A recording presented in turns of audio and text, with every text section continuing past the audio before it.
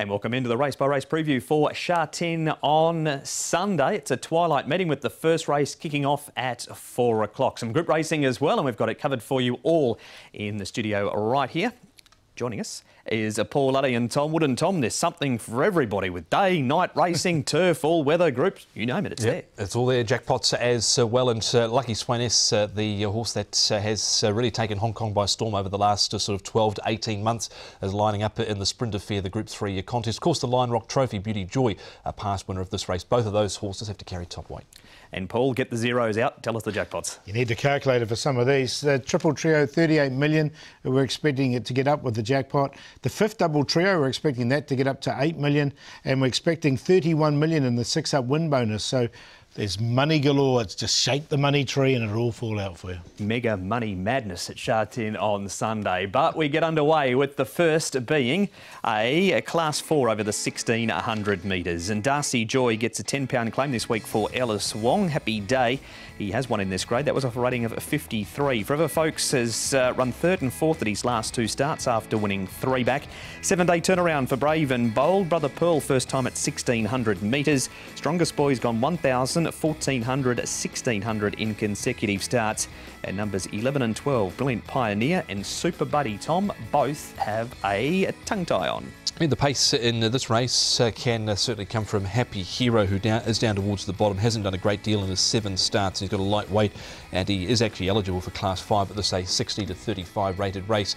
Uh, Darcy Joy, he got uh, quite a long way back, but uh, closed off wider last uh, time out. You'd expect him to uh, sit uh, closer this time round. And Super Buddy with Happy Day and President's choice there, uh, Paul, should be somewhere about just in front of midfield. Yeah, he, he likes to race. He has been racing handily recently. Forever folks will need luck from barrier 12. I think he's going to have to go back. Northern Beast ran well on debut. Coming from the back, I think he'll do something similar with uh, Hugh Bowman aboard.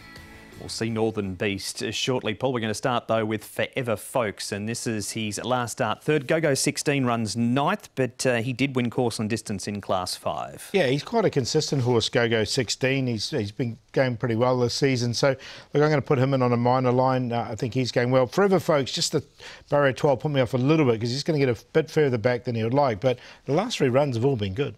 Yeah, I'm going to include him here. He was uh, sort of wide midfield. I don't know how he ended up so wide from barrier 2 last uh, time out uh, Forever Folks, but it was a really good run considering he was still attacking at the line.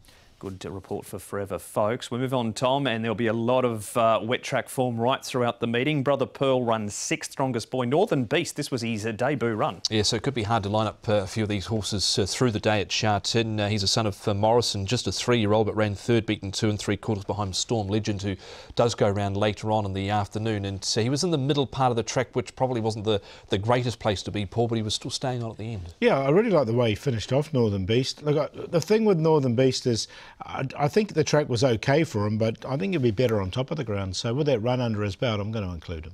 Brave and bold, Paul. He got in as a nominated standby starter last weekend, so he's on the quick backup. Yeah, look, he, he made some good ground here as well, finishing seventh.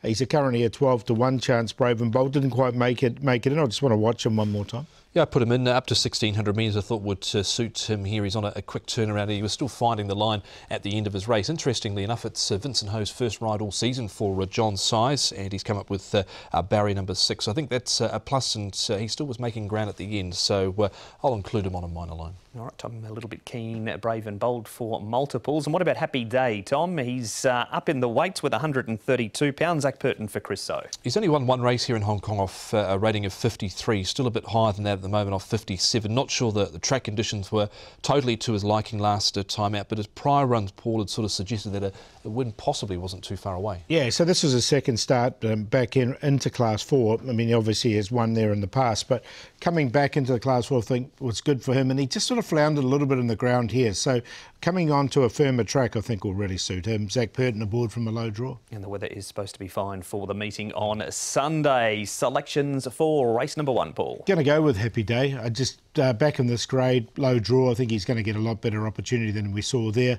Darcy Joy with a £10 claim, he's very well rated now. His one was off 58. He's he's rated 60 with the claim. Northern Beast uh, went well on debut and go go 16 there on a minor line. 2146. Yeah, I sided with the two as well. I didn't think it was an overly strong race to uh, open the card in a, a, pretty even lineup. So happy day uh, back on top of the ground in Class 4. Uh, Northern Beast, like what he did uh, in his debut uh, run, hopefully he can improve uh, on top of the ground. Forever Folks was a big run last start and Brave and Bold on the quick turnaround at 2, 4, 3 and 5. There it is. All of the information for race number one, Sha Tin Sunday.